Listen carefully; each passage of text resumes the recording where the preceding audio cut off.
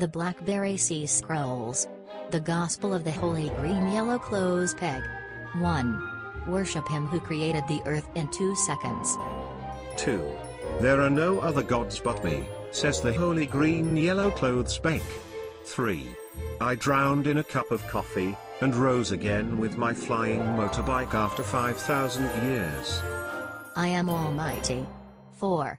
Only by spinach man can approach me. 5. Behold, those who overcome will find a way through the kettle, and will be adorned with carrots. 6.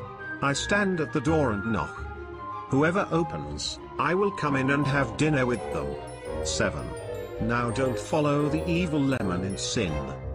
For he will burn with his angels in the lakes of lemon in all eternities. 8. They eat candy all day long, I even had problems to rise from the coffee. For I got so stuck in their sugar that the archangel Mr. Hufbury had to help me out. Shame. 9.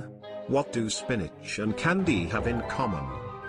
But I tell you that whoever will stay faithful to me will be granted candy, 10 cents apiece. 10. Don't follow those of the lemon, for they are always drunk. Stay sober. Your enemy goes around like a roaring lion, seeking who he can destroy. 11. Those who believe that the holy green yellow clothes peg has drowned in a cup of coffee. To rise again after 5,000 years have eternal life.